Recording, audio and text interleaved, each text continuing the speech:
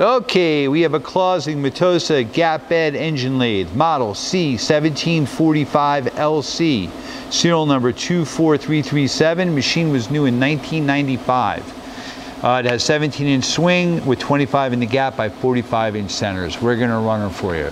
Machine has inch and metric threading, uh, lots of tooling, uh, three jaw chuck, four jaw chuck, lever type 5C collet closer, taper turning attachment, Newall DRO, quick change tool post, follow rest, steady rest, live center, drill chuck. It is quite the package.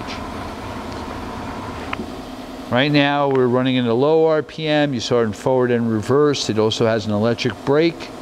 It's got from 42 RPM up to 2000. Camlock D16 spindle with a 2 and a 16th or 2 inch through hole capacity.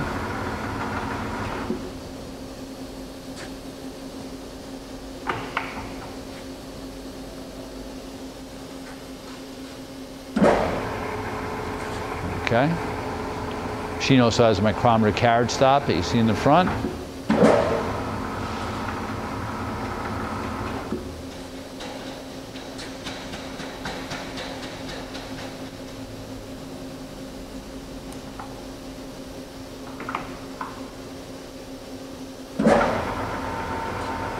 Faster speed.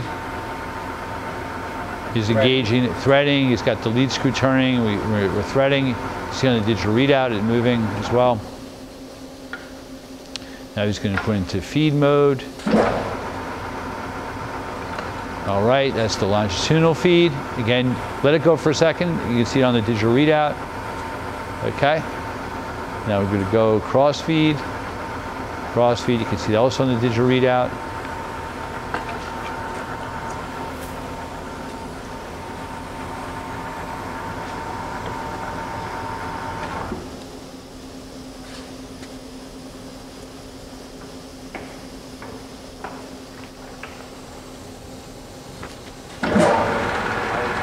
Higher speed.